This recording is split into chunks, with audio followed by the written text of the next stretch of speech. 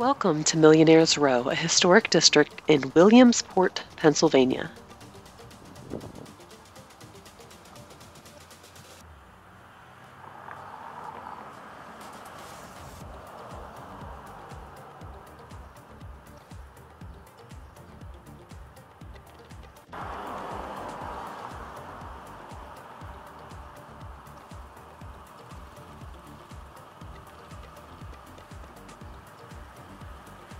It has been on the National Register of Historic Places since 1985, and it is one of six registered places that are in this city.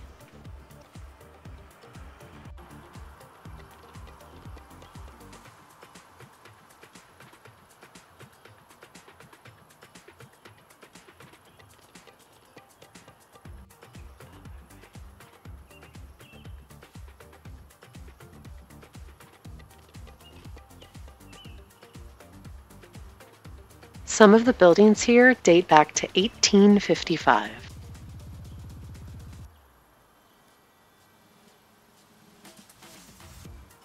Some of these places were kept up and immaculate, and some were really run down, but still had stunning architecture.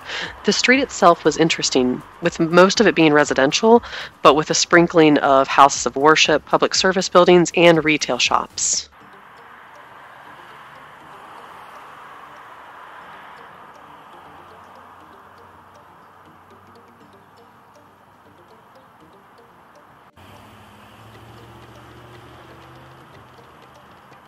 See the link below for the Wikipedia page on the Historic District and consider clicking the like button if you enjoyed exploring with us here at VR Virtual Studio.